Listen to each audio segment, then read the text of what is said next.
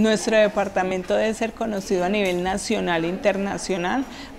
primero porque tenemos la diversidad de paisajes, tenemos todos los climas, tenemos el mejor café del mundo, tenemos todas las rutas del patrimonio cultural cafetero, entonces es un destino que lo deben conocer a nivel nacional e internacional. Y por todos los productos que ofrecemos, café, yuca, todos los cítricos y todo lo lindo que es nuestro paisaje, por eso todo el mundo debe venir a conocer nuestro destino eje cafetero.